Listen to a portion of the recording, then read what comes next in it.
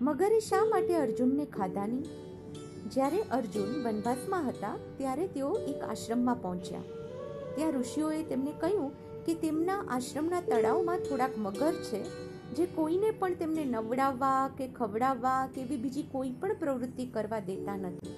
આથી તેમણે અર્જુનને કહ્યું કે તેઓ એવા મગરની દેખભાળ કરે. અર્જુન એવું કરી શકતા હતા, કેમ કે તેઓ એમની પત્ની ઉલ્લુપીના વરદાનથી રક્ષાયેલા હતા. તરત જ તેઓ તળાવમાં ઉતર્યા અને એક મગરને ખેંચીને કિનારા પર લઈ આવ્યા. એટલે જેવો કિનારે મગર આવ્યો, એટલે એ મગર તરત જ એક સુંદર સ્ત્રીમાં પરિવર્તિત થઈ ગયો. અને તે મગરરૂપી સ્ત્રીએ અર્જુનને કહ્યું કે તે અને તેની બેનપણીઓને ઋષિઓનો શ્રાપ છે. આથી તેઓ ઋષિને હેરાન કરી રહ્યા છે.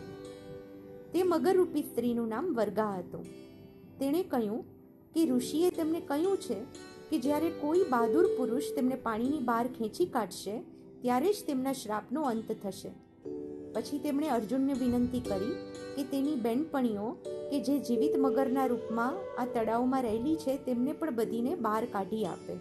આમ અર્જુને સૌરભા, સમીચી, લતા અને બુદ્ધબુદાને શ્રાપમાંથી મુક્ત કર્યા. આવી જ બીજી અનેક રોચક વાર્તાઓ સાંભળવા માટે જુઓ અમારી YouTube channel save and endangered stories